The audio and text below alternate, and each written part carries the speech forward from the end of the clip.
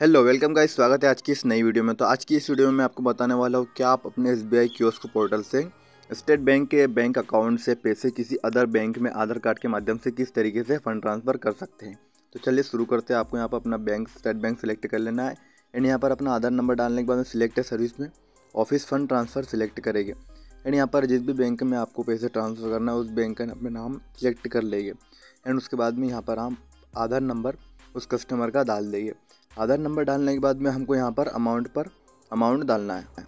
Amount यहाँ पर fill करने के बाद में सबमिट पर क्लिक करेगी। आई एग्री पर क्लिक करेगी। आई एग्री पर क्लिक करने के बाद में थोड़ा वेट कर लेना। थोड़ा वेट करने के सामने बाद में हमारे सामने ऐसा पॉपअप आएगा। यहाँ पर फिंगरप्रिंट कैप्चर करेगी। जिसके खाते से हमको जिसके खाते में डालना है। तो जिसका आधार नंबर पहले डाला है, उसका फिंगरप्रिंट हम यहाँ पर कैप्चर कर लेंगे। फिंगरप्रिंट कैप्चर करने के बाद में हमारा को यहाँ पर पासवर्ड डालने का ऑप्शन आएगा। यहाँ पर आपका जो भी पासवर्ड है, आप पासवर्ड यहाँ पर शिफ्ट इंसर्ट करके डाल सकते हैं। एंड यहाँ पर ऑथोराइज पर क्लिक करिए एंड यहाँ पर ओके पर क्लिक करिए। ओके पर क्लिक करने के बाद में हमारे सामने एक कंफर्म पेज शो होगा। कंफर्म पेज पर हम कंफर्म पर क्लिक कर देंगे।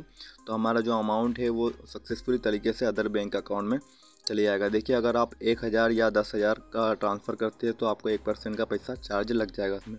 एक हज़ार पे आपके दस रुपये कटेंगे। तो गाइस वीडियो अच्छी लगी, वीडियो को लाइक ज़रूर